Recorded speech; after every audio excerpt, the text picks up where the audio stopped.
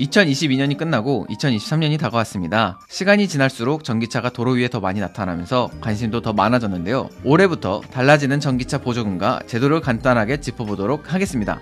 2023년 보급 대수 및 국고 보조금 현황 2023년 전기차 국고 보조금이 축소됩니다. 전기차 보조금은 국고 보조금과 지자체 보조금으로 나눠져 있는데 국고 보조금은 600만 원에서 500만 원으로 축소됩니다. 서울 기준 지자체 보조금이 200만 원으로 총 700만 원까지 보조금을 받을 수 있게 되고 지역별로 1000만 원 이하로 떨어지는 곳이 많아질 것 같습니다. 작년에 비해 150만 원에서 최대 200만 원 정도 빼주시면 될 것 같습니다. 높은 금리의 전기차 시장에서는 좋은 소식이진 않지만 대신에 지원금으로 받을 수 있는 차량의 대수를 16만 5천 대에서 21만 5천 대로 수량을 5만 대 더 늘려서 전기차 보급을 더 늘리겠다는 취지가 보이는데요. 전액 액수를 늘렸기 때문에 지원 대상을 늘리려는 정부의 방향성을 볼 수 있습니다. 작년에는 차값에 따라 지급하는 보조금도 떨어졌는데요. 후에 보시는 것처럼 2021년에는 6천만 원 미만은 보조금 100%를 지급받았습니다. 하지만 2022년에 5,500만 원 미만으로 떨어지면서 보조금을 100%못 받는 차량들도 많아졌었죠. 아직 바뀐다는 말이 없어서 유지될 것처럼 보여집니다.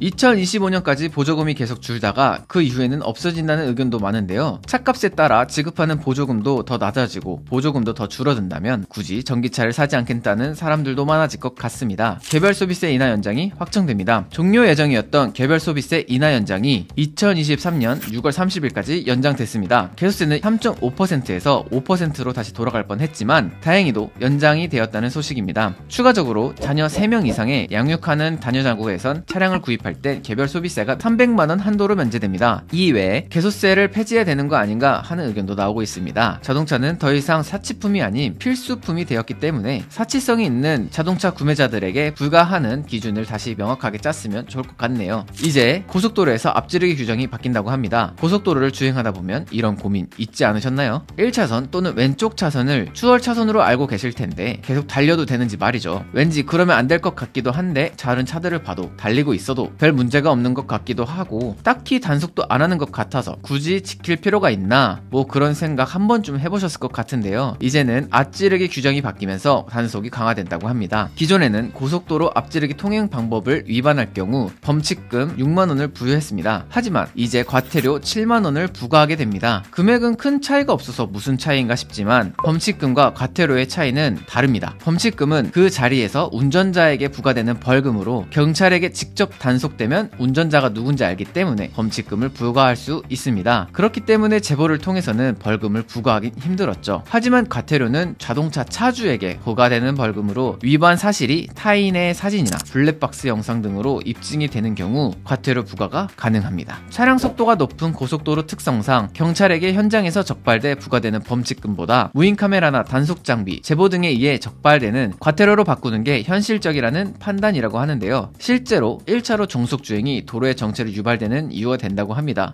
가끔씩 답답한 경우 있지 않으셨나요? 그럼 어떻게 변경되는지도 알아봐야겠죠? 고속도로에서 앞지르기를 할 경우 반드시 앞차의 좌측 차선을 이용해야 하고 가급적 추월 차선 1차선을 이용해야 합니다. 사실 여기까지는 다 아시는 내용인데 여기서 중요합니다. 이제는 1차선은 추월할 때만 사용해야 된다고 합니다. 고속도로에서 앞지를 땐 좌측 방향으로 차선을 변경하고 추월을 마치면 다시 기존 차선으로 복귀해야 됩니다. 1차선에서는 규정 속도와 관계없이 계속 달릴 수 없는 거죠. 추월차로인 1차로로 계속 주행하는 것은 고속도로 지정차로제 위반으로 과태료 7만원이 부과가 됩니다.